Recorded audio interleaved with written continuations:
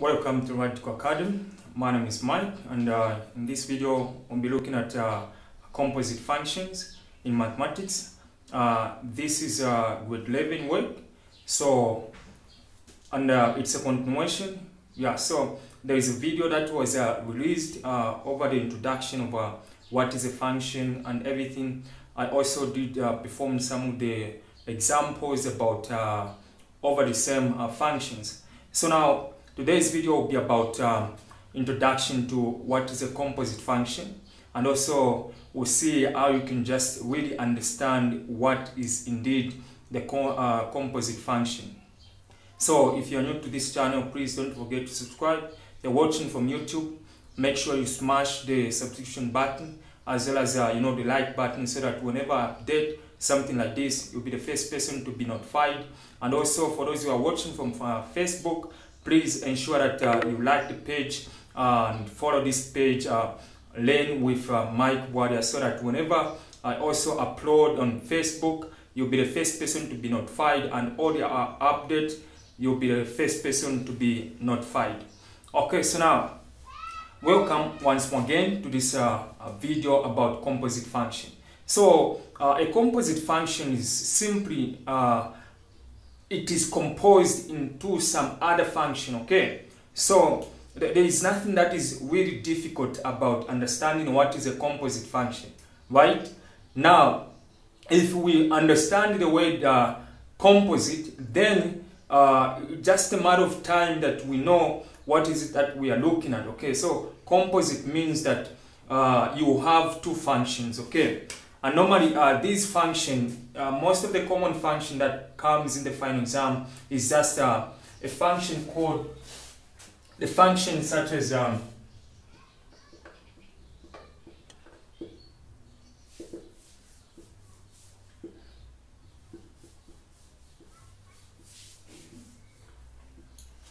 Okay, now those are the major cons. I mean, the major types of uh, functions that you'd find in the final exam. Okay, but of course, I'm not saying that these are the only, uh, you know, kind of uh, reference uh, letters that can be used. But of course, um, these are the ma- common ones. Okay, so just bear in mind that these are the common types of function that the examiner would like to bring, and also including h is also Okay, so they also like uh, bringing h. Now, how do you pronounce these functions? Okay, so this is f of x, uh, g of x, and then h of x, and that's how you just get to pronounce the functions. Now, now that is not our main focus. Uh, uh, our main focus is now just to understand you are given two functions now and then you are told to find the composite of one function that is embedded in another function okay so i want you to understand that composite function they just really mean that you have got a function which is now inside another function okay that's all you have to understand about a composite function Okay.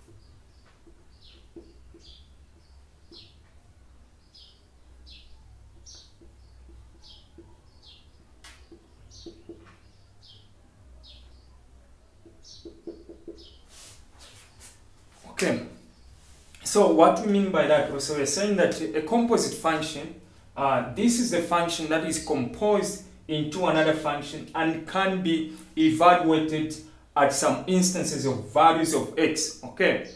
For instance,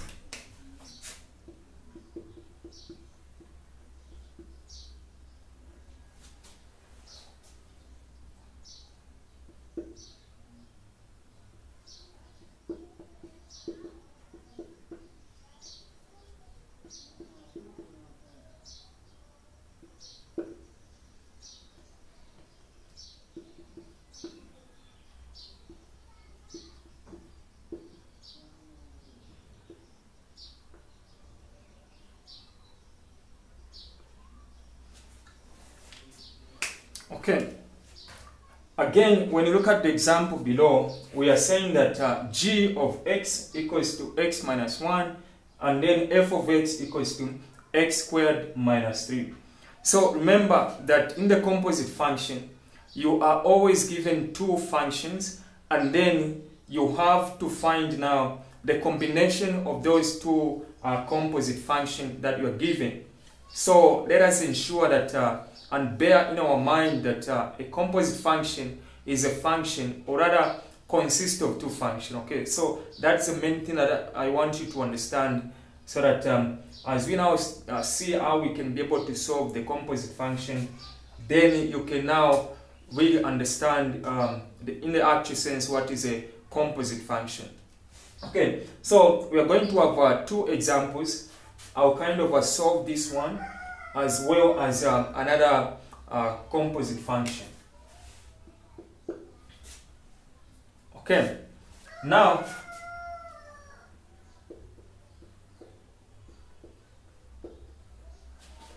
before we get to the question, uh, when you are looking at also a composite function, there is a way in which uh, it is represented and uh, if we know how to pronounce the representation of the uh, composite function, then that's gonna be so good and nice because it's different the way we are calling these are normal function, okay? The composite function is a combination in one thing, okay? In just one thing, embedded in one thing. Okay, so you've got to learn how to pronounce uh, that, uh, you know, the whole thing of uh, the composite function, right? So for single uh, functions, we are just saying that uh, g of x equals to x minus 1, f of x equals to x squared minus 3. Okay, those are the things that we're supposed to understand, okay? Now,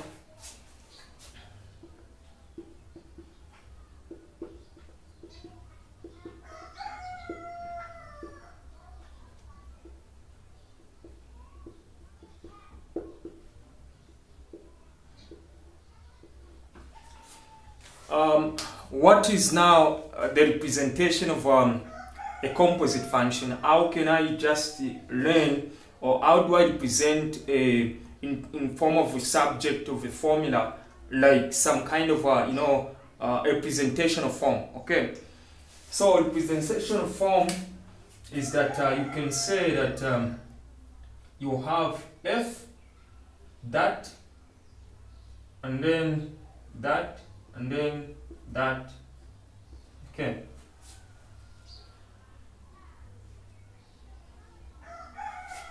Okay. Now when you look at this one uh,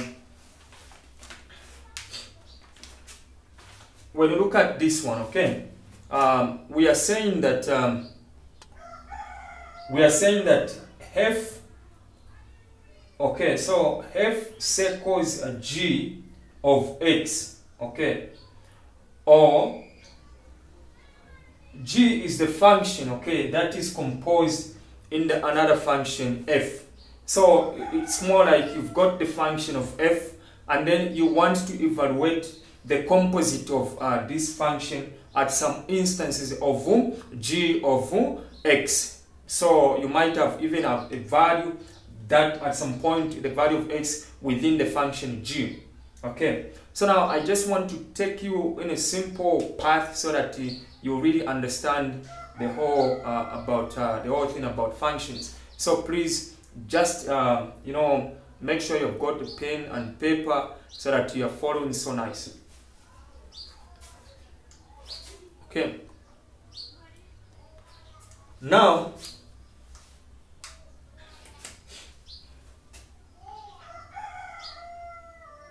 you can also say f so this is uh, read as we can call it f circle g okay of x. So this is the way you pronounce um, uh, this uh, composite function. This is how you can read it out okay?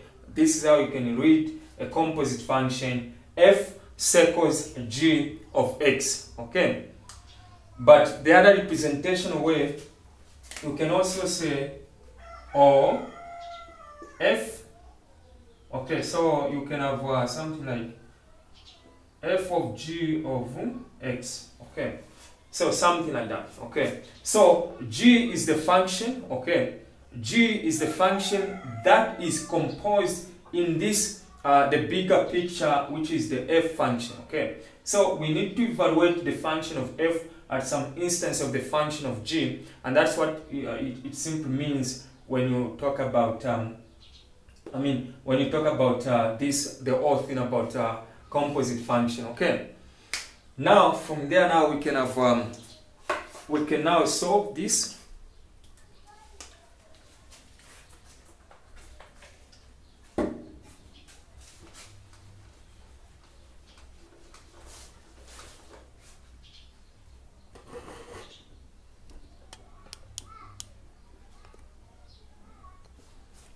Okay, so let us now solve the these um, uh, the example then. Okay.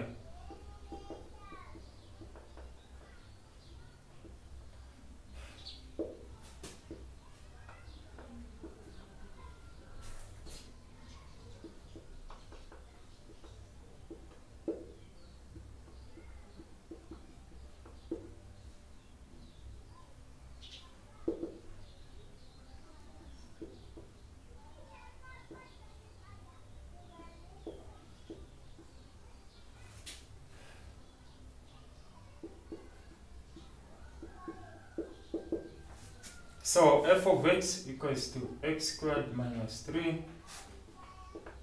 and g of x equals to x minus 1.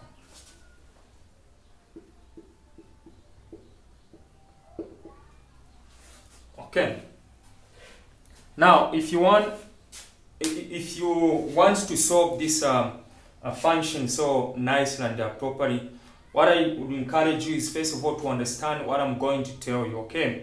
Is that um, when they say you are seeing this uh, f and then we've got the g and then of x, okay?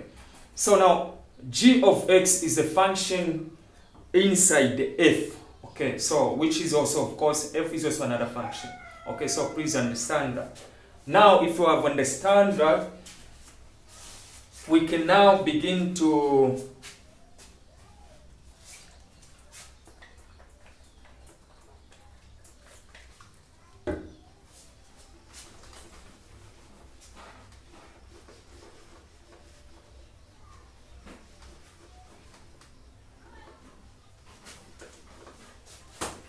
okay. We can now also begin to say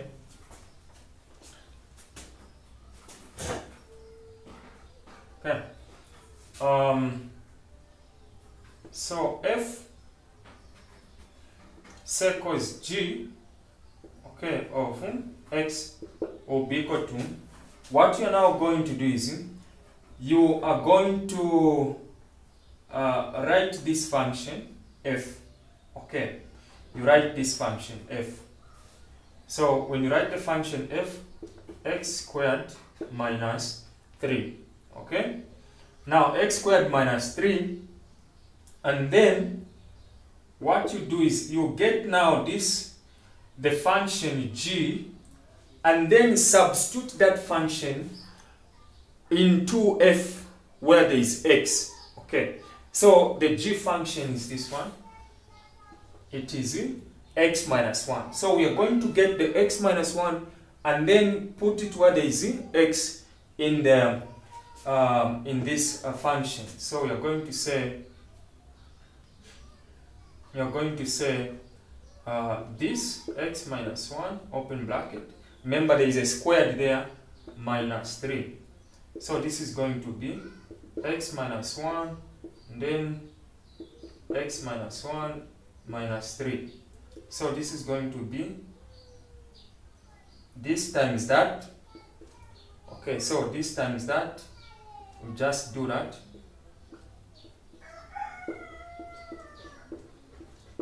minus 3. Okay.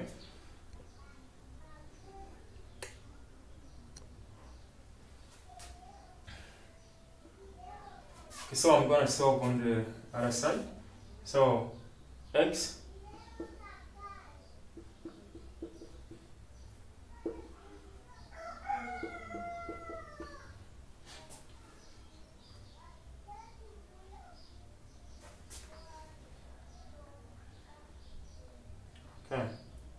So I've got x and then you get that. Then negative 1 you get that. So minus 3. So this times that x squared, this times that x and this x that x 1 minus 3. So this negative 2x plus 1 minus 3 then this x squared. So therefore f equals g equals to x squared minus 2x plus 1 this going to evaluate to minus 2 okay. So that's how you can just uh, uh, find uh, the value of um, that composite function. Now remember, if you try to reverse the composite function, they will not give you the same answer as this one, okay? So it doesn't mean that uh, when you start with G and then compose F, then it would give you the same as if we started with uh, F and then, I mean, started with F and then compose a G of X. So, not Note that f of g f of g is not equal to g circles